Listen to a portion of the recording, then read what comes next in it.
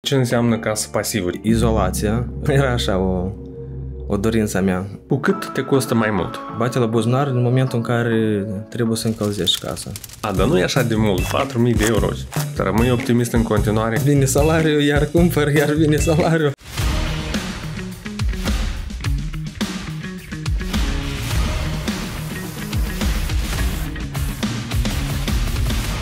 Playground. În fiecare săptămână cu Dumitru Ciorici. Înainte să mergem mai departe, nu uita să te abonezi și să setezi clopoțelul la notificări pentru ca să fii alertat de fiecare dată când public ceva nou. Prieteni, salutare și bine v-am regăsit din nou la Playground, loc unde discutăm despre tehnologie, antreprenoriat, dar și cum să reușești în viața asta nebună. Subiectul discuției de astăzi este despre confort și eficiență energetică. Mai exact, casa pasivă. Invitatul meu de astăzi este Alexandru Vrabie, un tânăr care, împreună cu familia sa, a decis să-și construiască casa visurilor sale și a familiei sale în format pasiv, dacă pot să zic așa. Alexandru, salutare, bine ai venit! Bună seara, bine v-am găsit! Uh, bună seara! Noi înregistrăm acest podcast, acest uh, interviu într-o seară. Voi puteți să-l vedeți și ziua, așa că noi vă spunem și bună ziua și bună dimineața, da. indiferent Salut. de uh, dispoziția pe care o aveți. Înainte să te iau la întrebări, Alexandru, vreau să explic în două cuvinte ce înseamnă casă pasivă, cel puțin așa cum am înțeles-o eu. O casă pasivă înseamnă că este eficientă energetic, are foarte puține pierderi de căldură, are o calitate a aerului în interior foarte bună, umezeală potrivită, facturi mici la întreținere, corect? Da, corect, cam așa. De fapt, totul se începe de la un standard anumit passive house sau casă pasivă este de fapt un standard și, de exemplu, dacă vrei să ai o casă după acest standard, trebuie să întreții careva criterii ca să ajungi. Și cum le-ai numerat acolo? Sunt toate astea sau mai sunt, sunt și altele? Sunt toate astea și mai sunt altele, dar ă, de fapt sunt ă, cinci principii ă, așa mai de bază, hai să spunem așa, care le caracterizează. Prima este izolația corespunzătoare, Uh, ea este uh, calculată într-un soft special uh, și în dependență de zona în care te afli, materialele de dependență de care le, le ai în, în structură, se alege grăsimea izolație sau calea de izolare, hai să spunem așa. A doua, tot un principiu așa de bază este ferestrele uh, certificate după standardul acesta de Passive House. De obicei sunt uh, uh, niște geamuri cu trei rânduri de sticlă și cu profilele cât mai eficiente, hai să spunem așa. La noi există o bătălie cu patru camere, cu șase camere. Câte camere trebuie să aibă un geam uh, din asta? În cazul meu sunt trei, uh, sunt trei rânduri de sticle Ă, dar poți fi și patru. Deci cât te ține buzunarul, asta înțeleg. Da, da. De fapt, nu numai sticla aici contează, contează mult și um, rama ferestrei. El tot trebuie să fie după un standard anumit, să îndeplinească careva criterii. Așa? Așa, astea sunt două. Cu a treilea e uh, să fie cât mai puțin punți termice. Asta presupunem Mm, închei, toate încheieturile case, trecerile astea de la ferestre la pereți, ele tot trebuie să fie luate în calcul și foarte bine izolate. Așa. Da. Numărul 4. Numărul 4. Numărul 4 e izolarea la aer. Asta presupune ca prin perete sau prin binările de la geam, de la perete, încheieturile de la pereți, tot toate din binările, să fie cât mai, cât mai bine izolate la aer, ehm, într-un cuvânt, eh, sau hai să spunem așa, într-o propoziție, casa nu trebuie să răsufle prin curenți mici de aer, prin pereți. Deci... Adică, practic, aerul din casă nu trebuie să iasă afară și cel din, din afară nu trebuie să intre înăuntru prin zone decât care le-ai da. prevăzut tu în proiectul da. tău. Prin zonele care 5 e ventilația. Așa. Ehm, Teoretic, găurile care trebuie să fie în casă, asta sunt doar geamurile, ușa și găurile de la ventilație, ele sunt două acolo. Alte găuri în pereți nu trebuie să fie. Okay. Și, și ventilația, apropo, trebuie să fie nu una simplă, e trebuie să fie cu recuperare. Ajungem la subiectul ăsta. Da. Spunem, uh, ca să o luăm așa de la un cap, spunem cum ți-a venit ideea să-ți construiești o casă pasivă, pentru că uh, eu am auzit prima dată despre casă pasivă în România, am văzut la George Buhnici și primul om care am văzut că își face o casă pasivă în Moldova ești tu. Dar da. înțeleg că tu ai aflat despre ele cu mult înainte să începi să o construiești. Da, da. Eu am aflat, de fapt, uh, uh, eu doream să-mi fac o casă și de asta încă, hai să spunem, după anii universității, încă de mult, era așa o, o dorință a mea. Uh, dar odată ce vrei să faci casă, numai decât începe a te documenta cu ce materiale o faci, de care să fie, Uh, și dacă ajungi pe tărâmul energoeficienței, vrei, nu vrei, dar uh, ajungi să cunoști uh, standardul de casă pasivă, passive house. Și deja de aici, cunoscând acest standard și la ce ajunge el, ca performanță, eu nu puteam să... Am spus așa pentru mine, eu nu pot să-mi fac o casă și să nu fie de pe acest standard. Deci, practic, a, asta te-a convins. Trebuie să fie o casă pasivă, să piardă cât mai puțină energie. Da. Dar argumentul cel mai puternic a fost că vei plăti mai puține facturi sau uh, ai vrut să fii deosebit, uh, să respecti acest standard de casă mm, pasivă? Eu nu cred. Uh, mulți oameni o văd deosebită casa energoeficientă, dar eu cred că asta e o casă uh, normală. Deci, uh, ea este o casă care presupun că ar trebui să aibă uh, toți ar trebui să, adică în viitor probabil asta o să fie o normă deci din câte am casă... citit, există o reglementare la nivel de Uniunea Europeană că din anul ăsta sau anii următori, din 2020, toate casele care trebuie să se construiască pe teritoriul UE ar trebui să respecte acest standard. Și evident acolo sunt mai multe trepte da, pe care le poți implementa. Da, da. Am citit, m-am documentat înainte de, de acest interviu cu tine că în mod normal, într-o casă pasivă, pierderile de energie sunt cu circa 75% mai mici Asta e cifra sau chiar merge și mai departe? Merge și până la 90, totul în dependență de cu ce compari. Eu cred că în Moldova chiar ajunge și la 90, așa cum se fac case la noi tradițional, din material tradițional, adică, pur și simplu, din piatră, se adică vrei să spui că ochi. toți care își fac uh, casă, a, uh, vorbești de pierderile pe care le suportă oamenii da, da. în... Uh, nimeni nu, hai să spunem, nu că nimeni, dar foarte majoritatea puțin. foarte puțin nu își pun în calcul, adică de ce are, trebuie așa o grosime, de ce trebuie așa material, cu așa material de izolat sau nu cu așa material de izolat. Și asta bate la buzunar în momentul în care trebuie să încălzești casa. Uh-huh. Înseamnă o casă pasivă investiții cu mult mai mari din calculele pe care le-ai făcut și apropo, deja ai și un pic de practică, ai și un pic de rezultate, să le spunem și celor care ne urmăresc că deja ești la etapa când casa e ridicată, este acoperită sau nu?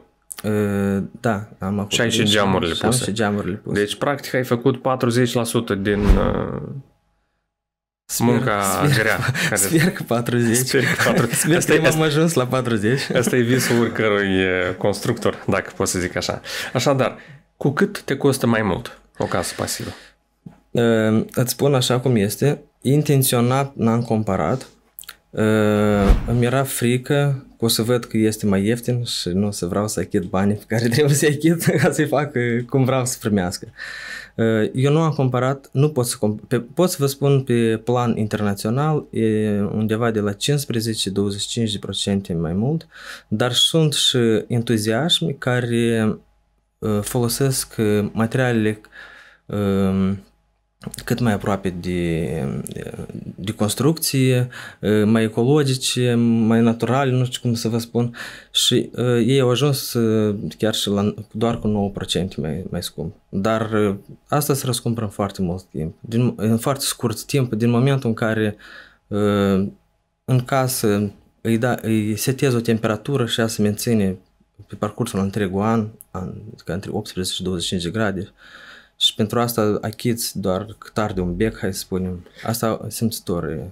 Apropo, da, tu, soția ta, că am văzut că împreună cu soția sunteți foarte implicați, veniți la șantier, ați făcut calculele în câți ani o să vă recuperați, nu știu, această investiție și nu pot să zic moft, dar acest, uh, această dorință de a avea o casă pasivă? Nu am calculat. Nu am calculat că îmi pare că mai mult și-a bătut capul de asta arhitectorul. Așa. Că undeva în proiect, pentru primele pagini, la prețurile de atunci, în 2015, când s-a făcut proiectul, s-a făcut așa un calcul cât gaz, de cât gaz este nevoie pentru tot sezonul rece. Și asta era undeva în valoare de 1000 de lei. Tot sezonul rece. Tot Asta înseamnă vreo 3-4 luni, nu? Da. Mi se pare cam puțin, nu? Puțin ce? Pentru o casă. Sună puțin fantastic. Nimeni nu crede, dar... Deci vorbești de proiectul tău. Vorbesc doar de proiectul meu, Pentru că doar eu... de amplas, cum este el amplasat, tot calculul. Pentru că eu știu că majoritatea oamenilor plătesc pe un sezon de încălzire cel puțin 5-7 mii de lei, 10 mii de lei, independență de casă, independență de Corect. arhitectură, poziționarea față de soare.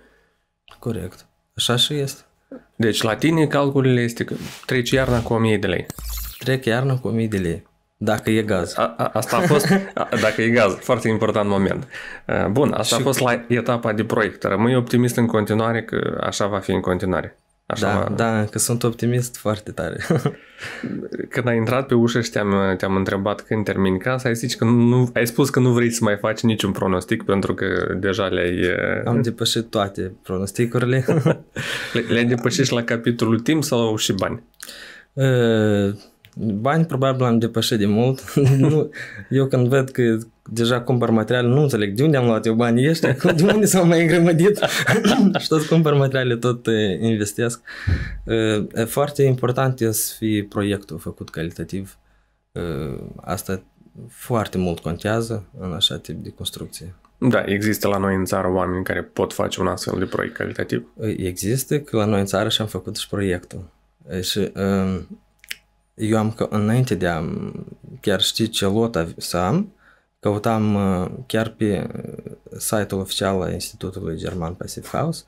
Uh, este un, o pagină unde poți să găsești în zona ta ce arhitector sau designer sau ceva. Sunt certificați. Da, da, certificați anume.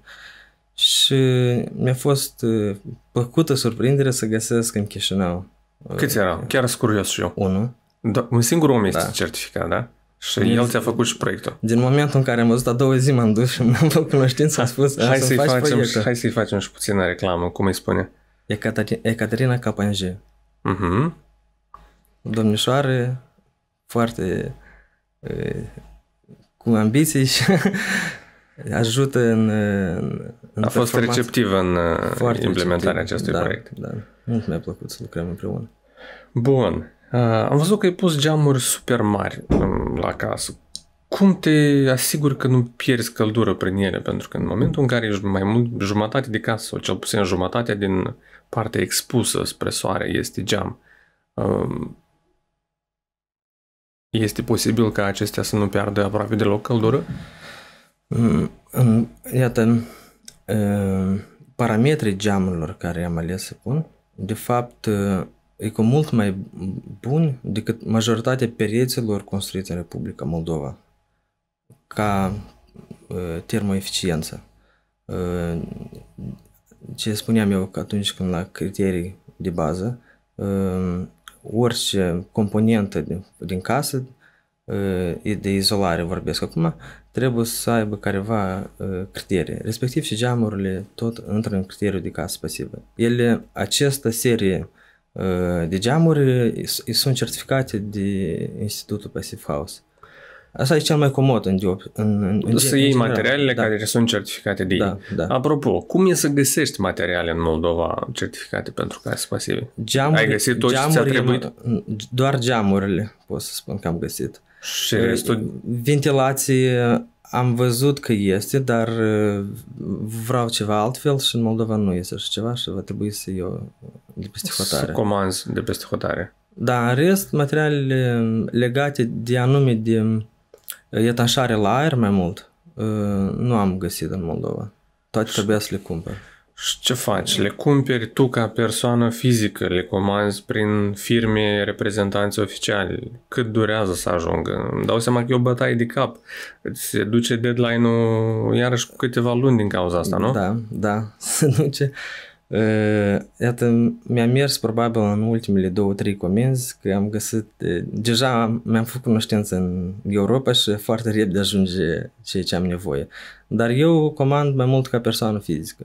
Probabil pentru juridică alt cumva să meargă tot. Păi, eu știu că nu poți să faci comenzi mari, mai mari de câteva sute de euro, mai ales în 2020 și ești limitat la 200 de euro, dacă nu greșesc. Materialele pentru o casă îmi dau seama că trebuie să fie scumpi sau am eu o percepție greșită despre asta.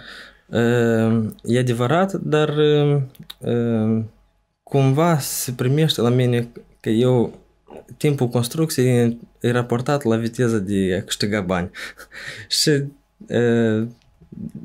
eu cumpăr, până implementez tot ce am cumpărat, vine salariul, iar cumpăr, iar vine salariul, cumva așa. Da, da, mare... În cazul în care vrei să cumperi totul deodată, da, trebuie să Deci tu cumperi uh, părți mici pe care întâi da. le montezi, după asta iarăși comanzi În piese. principiu, scociul a fost cel mai problematic de găsit.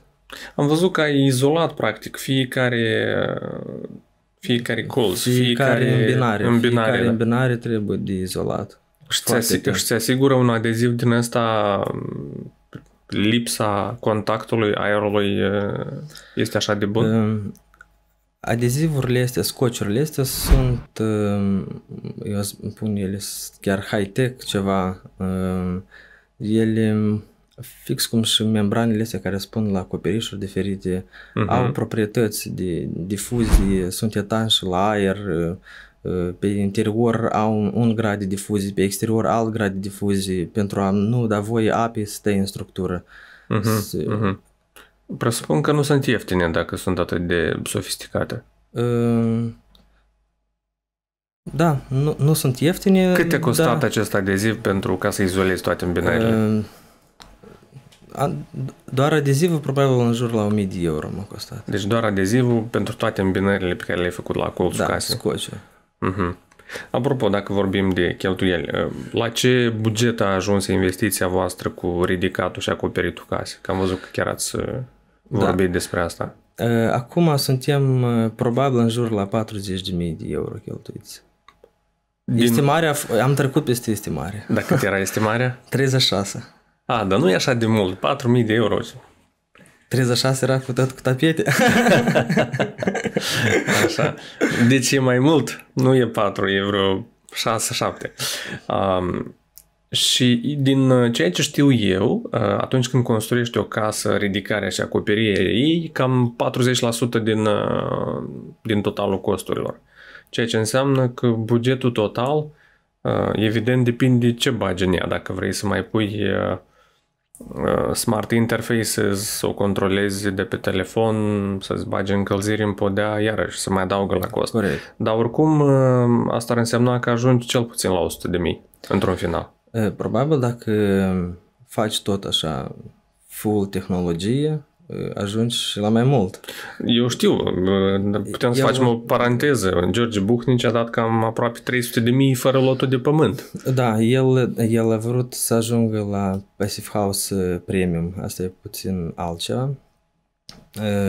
Dar eu doar Passive House vreau să fiu. Vreau casa să fie cât mai modest să arăte. Și pe din afară, și pe dinăuntru, Mm, de cât mai, cât mai, mai aproape, lucrurile în casă fie cât mai aproape de om. Înțeleg că te-ai convins de asta pe parcursul lucrărilor, când ai înțeles că trebuie să iar să bagi bani. Prețul desigur joacă rolul lui, dar în final cât de avansat în tehnologie n-ar fi un întrerupător, oricum ți mai comod să apeși în sus, în jos, strângi lumina decât... Decât să o faci de pe telefonul mobil. Telefonul asta mobil, nu știu cât e, asta e așa, ca o tendință probabil. Asta nu a intrat în sânge, spunem cum sunt tabletele acum sau telefoanele, că le îmbli tot timpul cu dânsele. Oricum, niște elemente, o să ajungem să vedem că aproape fiecare o să-și pună în casă. Cel puțin, uite, lumina care o avem aici în studio, o controlez de pe telefonul mobil. O, o aprind și o stâng, nu merg la fiecare lampă să o aprind și să o stâng. Mie este mult mai comod. Da, da. Și depinde- poți să le programezi. Foarte mult depinde de necesitățile pe care le nevoie. Desigur, automatizări sunt nevoie. De exemplu, ventilația fără automatizare nu poate să fie o ventilație eficientă. Cum și încălzirea și poate să fie alte momente. Ca să terminăm subiectul cu, cu banii și apoi revenim la eh, ventilare pentru că mi este interesant. Uh, Înțeleg că estimarea ta pentru casă e cam 100 de mii. Vrei să te încadrezi într-o 100 de mii. Nu, estimarea mea nu, e 100 de mii. 80 de mii sau... Nu, eu uh, n- nu ne-am reestimat încă o dată bugetul. Nu am acum Dar un care a buget fost cel inițial atunci? Inițial a fost 36 de mii. Eu Cu, am, cu tot. Da, dar eu am vrut puțin Păi ai să fost, construiesc, uh, ușor spus, ai fost foarte romantic să faci o Foarte casă romantic. cu 36 de mii. Deci, dacă mă întrebai pe mine, spuneam că ai cel puțin 80 de mii acolo de pus. Am făcut, uh, poate am făcut careva greșeli care m-au costat de atât așa. Care au fost greșelile? Hai spune-ne că la sigur o să ne urmărească lumea și să știe ce greșeli să nu facă dacă se apucă de așa un proiect. Um, Eu mi-am făcut uh, podea caldă, deodată integrată în uh, fundație. Uh-huh. Asta tot a fost careva Mhm. Din asta costuri. turnată, ai turnat uh, șapă peste, peste țevile cu apă caldă? Um, În cazul meu, um, fundația îi, podeaua caldă deodată e pusă în fundație. Uh-huh. Că fundația la rândul ei tot e izolată de sub. Și primește că um, masa asta de beton, ea trebuie este încălzită. Dar asta a fost mai mult ca o frică dacă nu-mi iese casă pasivă. Ce mă fac eu atunci? Hai să am măcar o sursă de încălzire. Și, de fapt, în- așa, gândindu-mă, eu putem dar să fac mai multe și mai multe cheltuieli aiurea neplanificate. Uh, Asta și asta a Și fost ce ai un- făcut? Ne-am pus podea caldă, ne-am cumpărat uh, m, tot ce trebuia, accesoare, trubă, Mhm, uh, mhm. costuri pentru pus, costuri... Deci, inițial nu planificai încălzirea în podele, Nu. apoi ți-a fost frică că o să-ți fie fric și dacă faci o greșeală nu o să dai jos uh, tot Da, ca să... da, da. Și ai pus și adițional și încălzire în pardesea. Da. Ok, bun, ne-am... Uh... Care era, nu ai spus, care era estimarea ta inițială? Deci mi-ai spus că 36 de mii, cu tot 36. cu uh, tehnica din casă sau fără? Uh, Trebuia cu tot cu ventilație. Așa. Băi, păi de aici ai încă cel puțin vreo 10-15 mii ca să-ți iei un televizor, să-ți pui conectoare, prize, lămpi, Da, energie electrică tot. bucătărie, bani. Astea sunt foarte scumpe. Gresia e enormă dacă vrei ceva relativ ok. Da. Uh, Sper, nu, nu, na, la 100 nu o să ajung. Nu o să ajungi. nu o să ajung, nu o să ajung, nu o să scot în cap. Uite, 100. îți lansez invitația de pe acum, în momentul în care termin casa, să vii să ne spui uh, care au fost, de fapt, calculele finale. Chiar sunt uh, curios. Acum să revenim un pic la uh, ventilare. Spuneam anterior că o casă pasivă înseamnă pierderi puține de energie, ventilarea aerului, o calitate superioară a aerului și vreau să ne spui mai mult cum se întâmplă asta. Înțeleg că nu ai un aparat de aer condiționat în casă. Nu. Există un aparat care funcționează cum? Eu știu câteva lucruri, dar te rog să le explici tu. Hmm, Hai e să încep. cu- Ai niște cu- găuri, da? Da, În tavan. Uh, Sunt două găuri, în perete, în tavan, nu Unde prea ți-e contează, comod, da. Uh, Ele pot fi luate în calcul în dependență de vânturile care ai în zonă, dar în general doar sunt două în afară. Uh, Pe una intră aerul uh, de afară, uh, vine într-o, în această box de ventilare care întrânsă are uh, o, un sistem de tuburi unite una lângă alta și uh, iată aerul care vine în, în, în acest sistem de tuburi uh, trece prin acest sistem de tuburi, dar doar uh, și intră în casă. Uh, În timpul acesta tre- uh, el se filtrează până a intra în sistemul ăsta de tuburi. Uh, Când intră în casă deja uh, el, aerul utilizat, iarăși vine în, în această sită. Și că din momentul acesta, în sita asta de tuburi, și iată, din momentul acesta, aerul uh, își schimbă temperatura față unul față de altul. Asta de afară, spre exemplu, dacă e rece afară, preia temperatura de la asta din casă. Și acesta din casă, respectiv preia uh, răceala și o scoate afară. În schimb, este aer proaspăt. Da, aer proaspăt, aer filtrat, uh, curat și cu un debit calculat. Asta foarte în mult. proiectul pe care trebuie să-l faci înainte ca să te apuci de construit. Da, asta e înainte de a face. Și asta e tot ce ai nevoie, această, aceste găuri în tavan sau în perete conectate la acest sistem de filtrare, așa înțeleg. Că... Sistem de ventilație. Ventilație cu recuperare, deoarece bă, recuperează căldura și anume pe căldura asta uh, recuperată și îți menții temperatura uh, propusă în, în casă. Ok, da. Îmi spuneai anterior că o să ai și cheltuieli pe gaz. Asta înseamnă că o să ai și o centrală de gaz instalată. Uh, nu, nu o să am. Nu vreau să... Explică-mi, te rog, pentru că eu știu că o casă pasivă înseamnă să ai aceeași temperatură, spre exemplu, un diapazon de la 18 la 24-25 de grade, tot anul, indiferent că e vară sau e iarnă afară, indiferent că e foarte cald sau e foarte frig. Cum asiguri această temperatură? Aș vrea să spun că cazanul cu gaz a fost probabil pentru prima problemă care m-am întâlnit în Republica Moldova, de ce nu aș putea face o casă pasivă. După normele din Republica Moldova, odaia în care sau casângeria în care stă cazanul trebuie să aibă neapărat o ventilație de asta simplă care e gaură în perete și, sau două gauri în perete care pe și care trece aerul. Și asta înseamnă că se anulează tot proiectul asta de casă pasivă. Asta se anulează tot proiectul. Din momentul acesta, eu practic am anulat la conectarea la gaz. Și de aici deja vin variantele alternative. Care energie sunt electrică, în principiu energie electrică sau uh, uh, colectoarele solare. Și ai decis că? Și am decis că o să leg energie electrică și colectoarele solare. Energie uh, ce e bine la o casă pasivă, deoarece uh, necesită puțin energie pentru a o menține, poți să-ți permiți să-ți pui foarte puține panouri pe casă uh, pentru a-ți uh, încălzi uh, apa. Uh-huh. Cât ai calculat că ai tu nevoie pentru casa voastră? Apropo, mm. câți metri pătrați? 132. 132. Câte panouri solare pentru acest, acest metraj? De fapt, panourile solare se calculează per membru de familie, am înțeles, din toate documentațiile mele. Pe, pe capacitate mai degrabă, nu? Da, da, da capacitate, dar se calculează câți membri de familie. Undeva două, trei, două maximum. Două și ajung, ajung două panouri și vara și iarnă ca să-ți asiguri fluxul de energie sau mai tragi și din rețeaua națională? În cazul meu rămâne să ved. Adică vrei să testezi întâi și după asta o să te conectezi la... Da, eu oricum o să iei o perioadă pentru a testa toate... Aș vrea chiar să o testez la maximum cum se comportă. Da, asta înseamnă că trebuie să te muți în ea. Trebuie să mă mut în ea. Și să înduri tot ce ai construit, să simți pe pielea ta toate greșelile și avantajele, de ce nu? Apropo, când îți construiești singur casă, după ce ai o mai mare plăcere să locuiești în ea. Așa că asta e, o să fie probabil o plăcere dublă să trăiesc între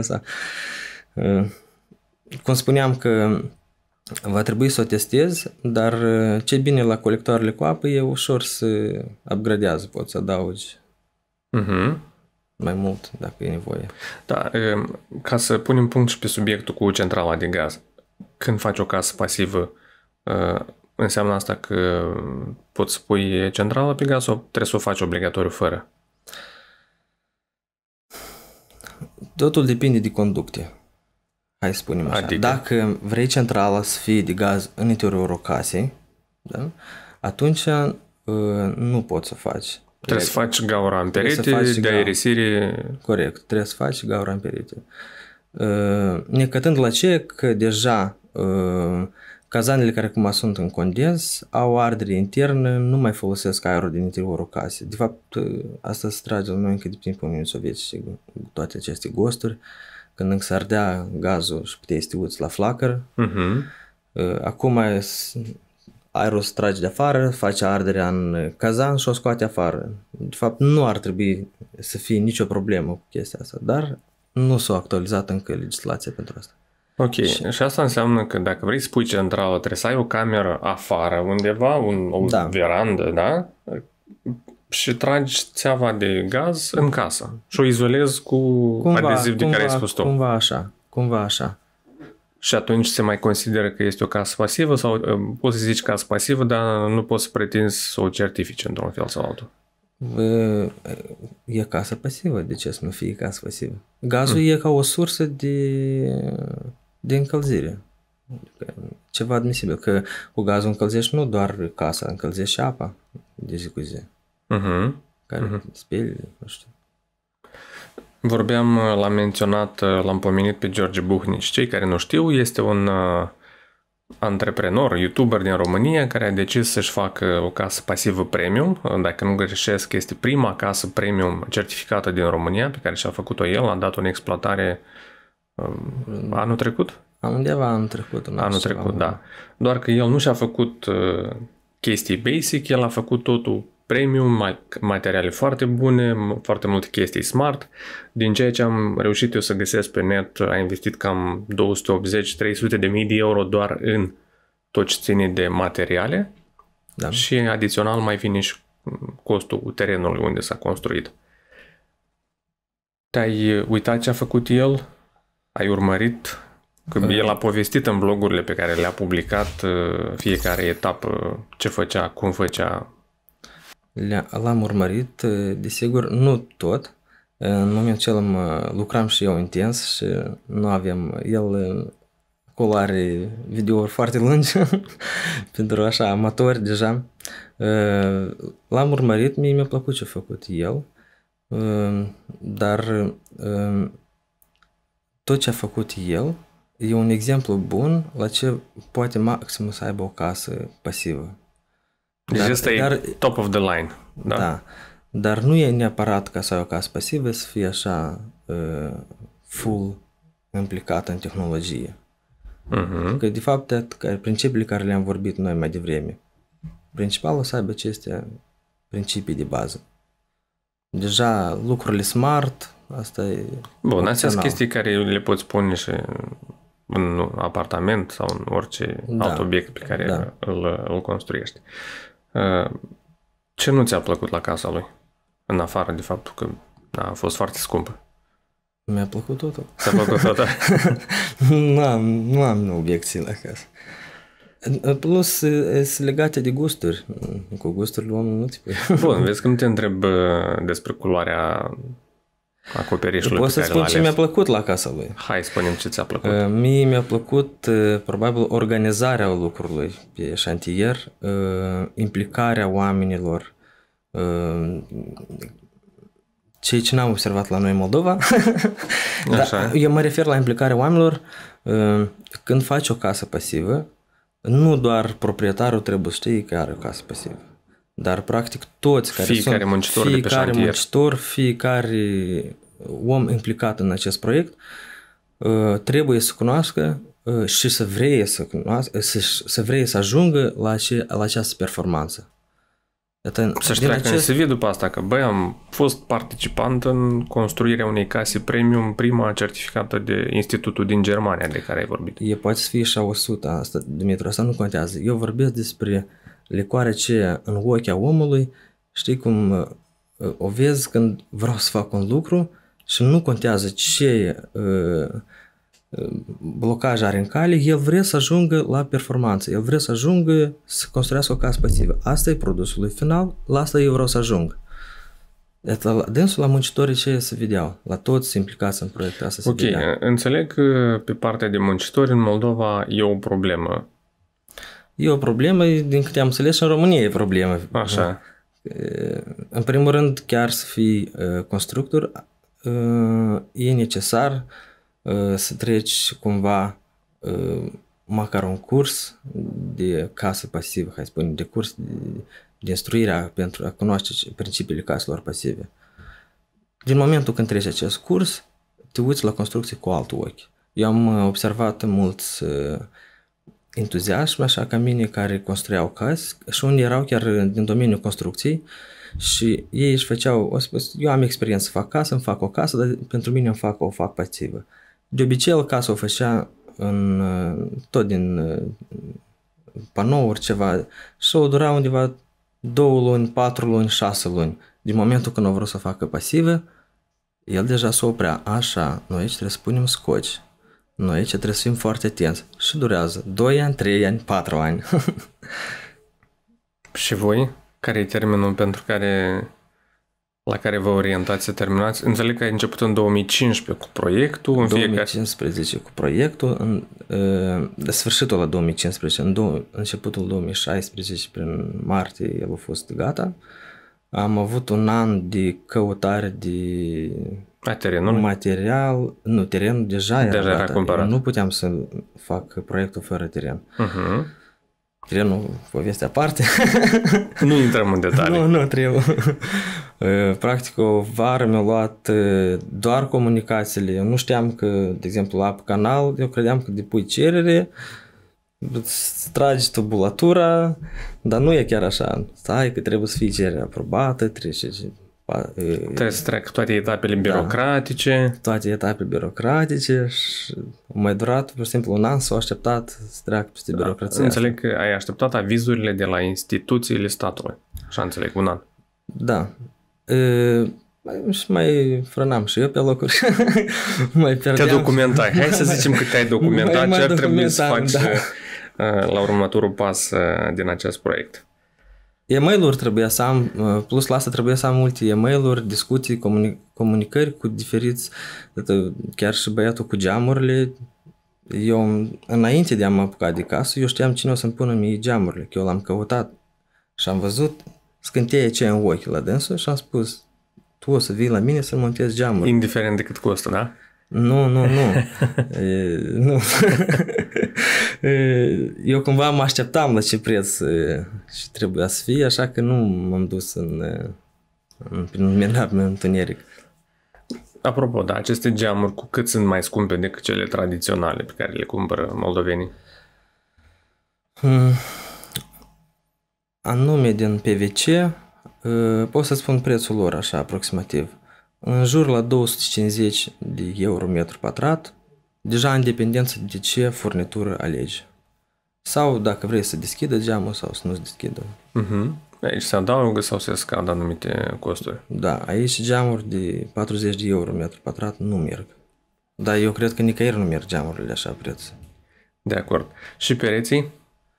Pereții, pereții erau un preț fix, eu știam deja cât costă. Poți să ne spui din, din ce sunt pereții și cam care e prețul per metru pătrat? Da. Prețuri sunt panouri SIP, două foi de USB prin părți și în interior polistirol. În cazul meu sunt 18 cm. În total. Vorbești de peretele... Toată, toată iată, structura care acum de SIP e de 20 cm. Dintre care izolamentul doar 18. Uh-huh. Tocmai 18. Pot Tocmai 18. Da. Peretele de din afară, presupun. Da, da, peretele din afară. Interior merge de tip carcas. Companii care face așa SIP în Moldova, la momentul acela erau doar două. Și acum? Acum pare să tot două. doar că nu știu care e starea lor. Și prețul acestui SIP per metru pătrat? Um, nu cred că e per metru pătrat, el merge nu știu cum per panou. Panouri. Uh-huh. Eu pot spune în total m-a costat 9000 de euro. Da, deci erau deci, pereții de la undeva casă. 190 de panouri. 190 de panouri, 9000 da. de euro. Aici intră structura pereților și acoperișul tot. Uh-huh. Am înțeles. Alexandru, eu îți mulțumesc că ți-ai făcut timp să vii să discutăm uh, despre proiectul tău de vis Înțeleg că un pic te-ai mai încălcit pe drum, dar oricum te văd încă inspirat de, de acest concept. Uh, eu îți doresc, vă doresc să-l uh, terminați cât mai rapid, să vă mutați în casă nouă, să vă bucurați de ea și odată ce te-ai mutat, ai testat și ai văzut cum e, te invit din nou să, să vorbim despre rezultatele pe care le-ai atins. Cu mare drag vin. Mulțumesc frumos pentru invitație. Prieteni, asta a fost tot astăzi la Playground. Nu uitați, dacă vă plac aceste interviuri, trebuie să dați like, share, subscribe, apăsați aceste butoane magice ca să fiți notificați de fiecare dată când public ceva nou. Asta a fost tot, ne vedem data viitoare!